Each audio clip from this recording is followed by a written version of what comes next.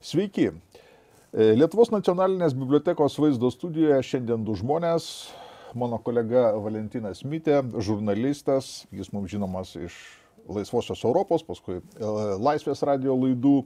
E, Lietuvos radijui jis dabar yra studijos 50 šeimininkas. Teisingai tave pristačiau. Teisingai. Jis čia pakviestas kaip mūsų žmogus Irake, tiksliau buvęs Irake, nors, kaip sako žinovai, buvusių Irake nebūna. Vieną kartą pabuvęs, tu ten pasilieki gana ilgam, bent jau savo mintimis ir su savo patirtimi. E, pokalbį vedu aš, Arūnas Brazauskas, bibliotekos informacijos analitikos skyriaus darbuotojas. Pirmiausia rubrika - Europos būklės apmąstymai. E, šios dienos tema išaugo iš ankstesnių medžiagų, kurias parengė informacijos analitikos skyrius. Mm, pernai buvo parengta laida 21 amžiaus migracija ir pabėgėliai Europoje, kurioje kalbėjo ambasadorius Alfonsas Eidintas ir filosofas Naglis Kardelės. Šįmet būtų pašnekėsio su istoriku Tomu Balkeliu ir kultūros istorikė Violeta Davoliūtė. Kalbėjome apie priverstinę migraciją. Tų laidų nuorodas mes pateiksime prie šios laidos aprašo. Už mano nugaros ekrane žemėlapis, kada kalbėjome su Tomu Balkeliu ir Violeta Davoliutė, jis mirksėjo, dabar sustingo, nežinau ar tai geras ženklas ar blogas ženklas. Žemėlapis vaizduoja migrantų srautus maždaug nuo 2014 metų vidurio iki 2015 metų vidurio. E, raudoni taškeliai tai bėglių telkimosi vietos, o gelsvi taškeliai vietos, kur jie suplūdo jums besižvalgant į žemėlapį pabandysiu suformuluoti temą. Viena vertus, Vokietijos kanclerė Angela Merkel vis dar negali nusiplauti dėmesio, kurią pati save pažymėjo, kada pasakė Vilkomen, mes priimsime visus migrantus. Kita vertus, Europos komisijos pirmininkas Žanas Klodas Junkeris nuolatos kartoja, kad Europa neišsivers be imigrantų. Jis šneka apie 6 milijonus afrikiečių. Kam jų reikia? E, matyt tam, dėl ko Lenkai šiuo metu džiaugiasi, tuo vienu milijonu ukrainiečių, kurie užpildė Lenkijos darbo vietas. Populiari formuluotė - ukrainiečiai išgelbėjo Lenkijos pensijų sistemą. Taigi tas Vokietijos kanclerės sveiki atvykiais išreiškia ilgalaikę tendenciją. Migrantai reikalingi, kad išlaikytų Europos senukus. Mm, kitas dalykas, kad ši idėja mm, Europoje, juolap Lietuvoje, nėra suvirškinta. Lietuvos pensininkai kol kas nebalsuos už tai, kad būtų įsileisti ukrainiečiai ar baltarusiai ir uždirbtų jiems pensijas. Žinoma, nebalsuos ir už tai, kad būtų įsileisti katalikai filipiniečiai. Lietuvos euroskeptiškoji publika labai džiaugiasi, kada jaunasis Austrijos kancleris Sebastianas Kurcas atėjo į valdžią. Pernai apie naujus metus jis pareiškė, kad migrantų kvotų sistema niekur neveda. Tiksliau, veda į aklavietę. Kurcas sakė, kad migrantai, kurie atvyksta į Europą, nenori pasilikti Bulgarijoje ar Vengrijoje, jų tikslas Vokietija, Austrija, Švedija. Primenu, kad Lietuva vis dar įsipareigojusi priimti apie tūkstantį pabėgėlių. Ką jis dar pasiūlė? Kurcas kalbėjo apie saugias zonas, deeskalacijos zonas tose valstybėse, kuriuose vaizdžiai kalbant tvenkėsi raudoni taškeliai. Kas svarbiausia, Europa tokias pastangas turėtų paremti karinė jėga, pareiškė Kurcas. Įsivaizduokite, už Europos ribų yra keli ar keliolika taškų, kur stovi europiečių įgulos, panašiai kaip lietuvių kuopa Goro provincijoje Afganistane. Po šio ilgoko įvado perleisiu mikrofoną Valentinui, iš kurio beje sužinojau, kad Vengrija, taip, būtent Vengrija jau kažką daro tą kryptimį. Nors ir nesiunčia Honvedų, Honveček, tai istorinis vengrų kariuomenės pavadinimas žinomas iš Hašeko veikalų. Taigi kaip islamofobai vengrai, atsiprašau už tokį vaizdingą apibendrinimą, kaip tie vengrai padeda musulmonams. Jie padeda labai konkrečiai, yra vyriausybinė programa ir tas departamentas ar skyrius vienos ministerijos vadinasi Hungary Helps angliškai. Jie investuoja pinigus į Iraką, Ninevėjas platumas, kad žmonės, kurie buvo ISIS priversti pabėgti kažkur kitur, sakykime, šiuo atveju į Erbilį, kurdų valdoma, galėtų grįžti atgal.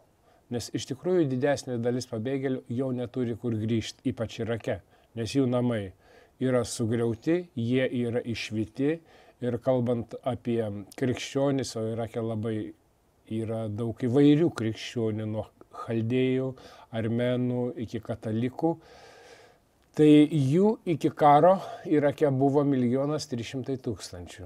Dabar liko pusę milijono, kur kitas, kur kiti žmonės. Dalis jų patraukė į Europą, e, dalis jų prisiglaudė Kurdistane, kurio ISIS e, nepaėmė vis tik. Taigi, taigi jie norėtų grįžti namo, bet nėra kur grįžti. Ir vengrai, vengrai jiems stato namus, jeigu aš teisingai supratau. Taip, teisingai. Vengrai jau skiria milijoną eurų ir stato namus. Ne tik vengrai, stato ir katalikiškos organizacijos. E, vienas namas, sakykim, kainuoja apie 2000 eurų, jeigu aš neklystu. Ir jau žmogus iš, iš Arbilio, kuris yra svetimas, nes tas krikščionis paprastai būna arabas krikščionis, grįžta į savo gimtas vietas ir tai problema išsprendžiama. Čia yra tos, kaip jūs sakėt, islamofobinės Vengrijos labai konkretus žingsnis. Ir tas konkretus žingsnis šalia viso kito padeda stabdyti ir pabėgėlių srautus, e, ne tik gražinti juos iš e, Kurdistano, bet taip pat e, stabdyti ar gražinti ir iš tos pačios Europos ar Turkijos. Juk niekas savo norų iš ten nepabėgo, Irake, Irake konkrečiai niekas nepabėgo. Nes buvo Na, ISIS... įvairiausių nuomonių, kad Taip. E, tas rautas jisai buvo sužadintas ir kad tai yra vis dėlto tokia pusiau karinė operacija. Mes prie to gal dar grįšime. Aš netikiu samokslo teorijom. Buvo ISIS, kurie e, žudė žmonės, kurie vyjo žmonės iš gimtųjų vietų, kurie norėjo švaraus, islamiškai, sunitiškai švaraus Irako. Ir jiems tas valymas pavyko, bet kas, kas po to atsitiko, po to e, liko sunitai ir liko dalis šytų. Tos dvi bendruomenės vėl tarpusavį susidūrė, nors šitai irgi bėgo, nes ISIS e, yra sunitiška organizacija, nors iš tikrųjų tai yra teroristinė organizacija. Tai dabar įsivaizduokim, kad ta vengrų ministerija, jinai plėtoja savo veiklą, tie žmonės įgauna vis didesnę kompetenciją. E, ką turėtų žinoti tūlas vengrų valdininkas arba ko jis neturėtų daryti? Žinoti ir nedaryti. Kuria prasme žinoti ir nedaryti? Aš žinau, ką jie daro ir ką jie nori daryti. Tai yra pabėgėliams sukurti vėl sąlygas ten, kur jie gyveno gimtosiuose vietose. Bet kuris žmogus. Gražinti į tėvynę. Gražinti į gimtasias vietas, nes tėvynė bendrai paėmus yra Irakas. Bet mano kaimas, sakau, salginai mano, jo nebėra, nėra kur grįžti, negrįžti į dykumą. Kaimą reikia atstatyti. Kaimą reikia atstatyti. Kaimo atstatymas kainuoja. Bet pigiau bus... negu įkurdinimas Europoje tikriausiai. O nelabai jau taip daug kas veržiasi į, į tą Europą, nes Eur, Europoje netaip lengvai gausi darbo, galima gyventi pašalpų, iš pašalpų, bet ne visi yra ekonominiai migrantai. Yra žmonės, kurie e, pateko į bėdą. Nemaža dalis jų. Arba Sirijoje.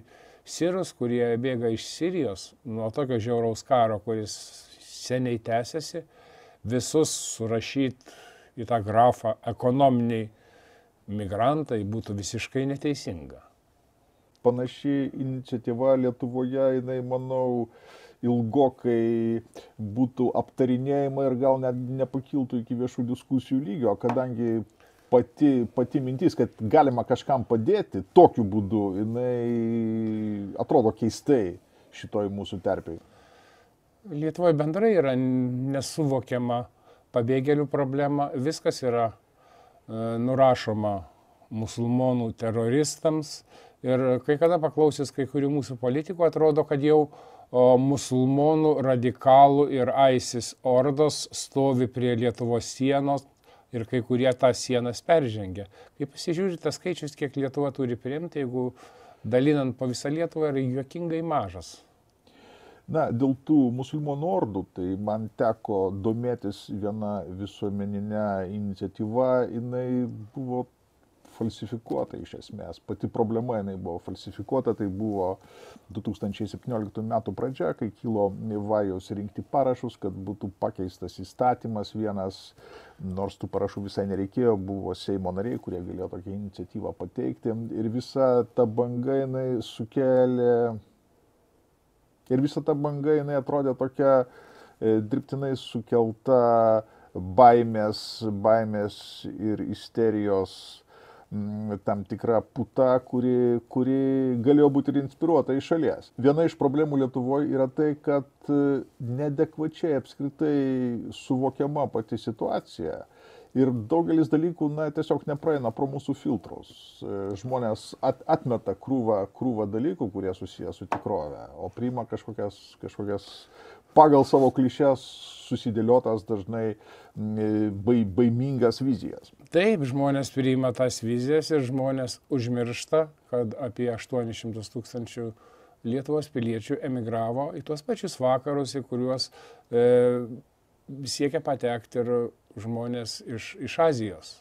Mes irgi Britams esam problema ir mes esam viena iš tų priežasčių, kodėl įvyko Brexitas. Jeigu buvo žaidžiama Britanijoje, kad emigrantai užplūdo uh, Britaniją, prarasim savo tapatybę, prarasim darbus ir, ir taip toliau ir panašiai. Tie emigrantai buvo iš kur? Tie emigrantai buvo iš Lietuvos, Lenkijos, iš rytų Europos šalių, kur žmonės gauna mažesnius atlyginimus.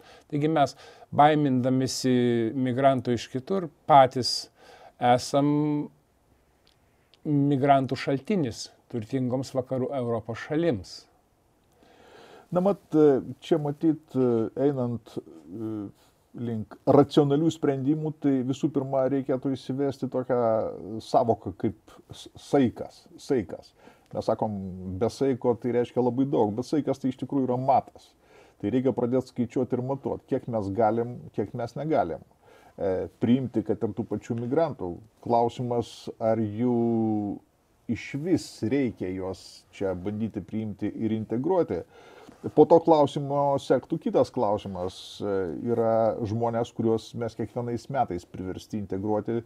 Tai yra apie 3000 žmonių, kurie grįžta iš įkalinimo vietų. Ir tai niekada nesukeldavo didelių viešų diskusijų.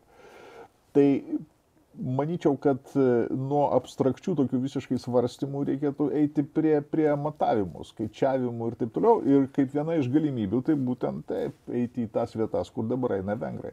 Kažką tai daryti. Taip, jeigu mes norim iš tikro, iš tikro e, prisidėti e, konkrečiais veiksmais prie e, imigrantų atvykimo į Europą stabdymo. O jeigu mes norim žaisti tik politinę demagogiją mes galim gazdinti visus teroristais ir panašiai, musulmonais. Toli gražu ne visi, kurie atvyksta iš Irako, yra musulmonai. Taip, mes kelbėmės katalikišką šalim.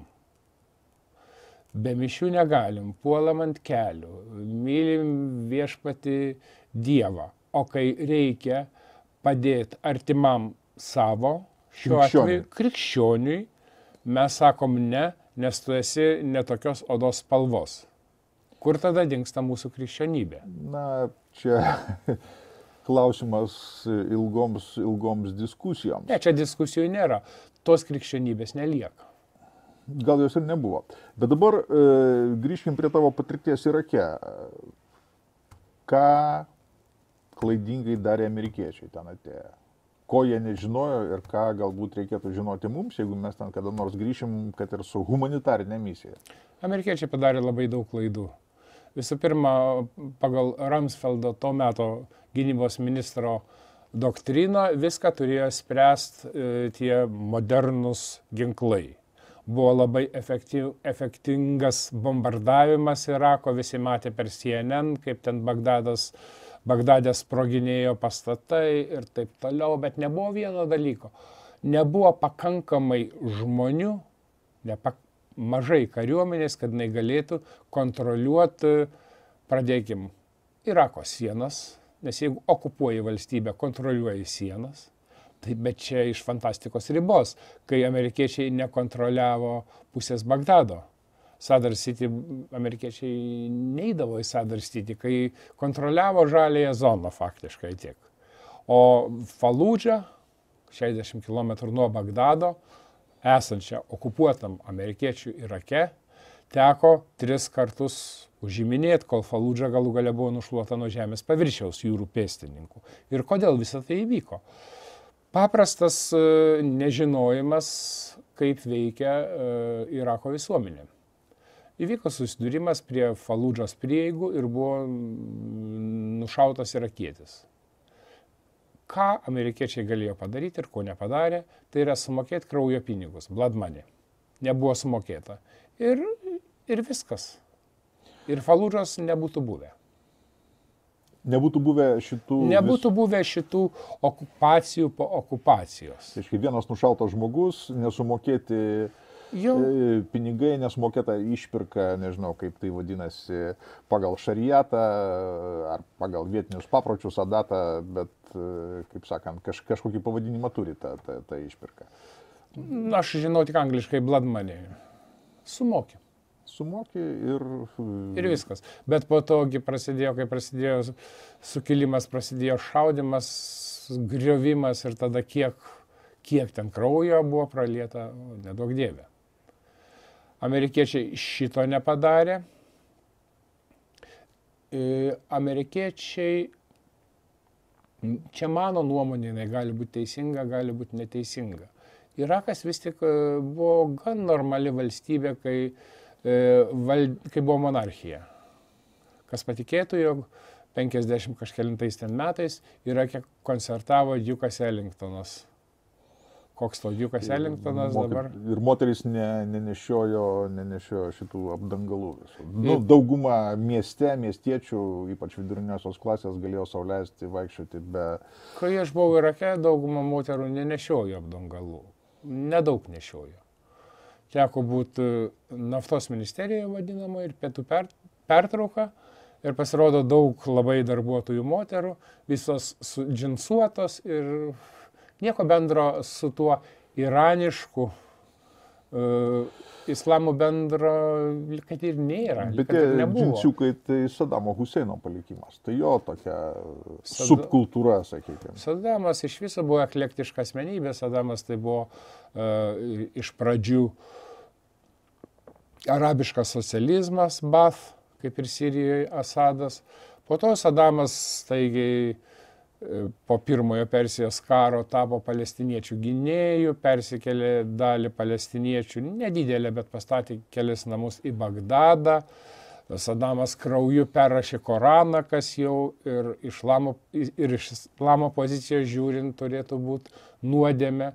Sadamas buvo va, toks, man nesuprantamas vienas dalykas tie visi kaltinimai, kurie buvo skirti Sadamui, kad Ata buvo susitikęs Prahoje. Mes kalbame apie rugsėjo 11. Jo, jo, taip, jo, jo, bet šitą, tai taip, viena, ne visai. Ata, kuris dalyvavo rugsėjo 11, buvo atvykęs tariamai į Prahą, kad susprogdint laisvosios Europos radiją. Kur tu tuo metu dirbai, ar ne? Aš tuo metu, e, jo, ko gero, aš jau ten dirbau Prahoje. Bet man esant e, Bagdade, man pavyko susipažinti po ilgų įkalbinėjimų ir kalbų su vienu Irako kontržvalgybos pulkininku, kuris buvo atsakingas už kovą prieš Alkaidą. Ir jis pasakė, kad jokio sustikimo nebuvo. Ta medžiaga neišėjo į eterį, bet Po to buvo įrodyta, kad nebuvo to sustikimo. Masinio naikinimo ginklų nebuvo. Buvo oportunistinis, žiaurus diktatoriaus Sadamo režimas. Ir kai aš pradėjau sakyti, kad man neaišku, man neaišku, kodėl amerikiečiai, kurie yra kaip ir verslo nacija, nesugebėjo nupirkti Sadamo. Na gerai, o nebuvo nupirkti tie kariškiai karo metu, antrojo karo metu, kurie atidavė miestus, čia vėlgi tokia populiari samokslo ar nesamokslo teorija. Tai kad jie priešinosi. Jie priešinosi, paskui klaida buvo padaryta Bremerio. Bremeris. Bremeris, priminkim, tai yra tas civilinis administratorius, jis šiaip Taip. jau kariškis, jis ten neilgai buvo tam Irake. Neilgai buvo, bet jis suspėjo paleisti Irako kariuomenę su visais ginklais. E, taip, kariuomenės nėra, o ginklai yra kažkur.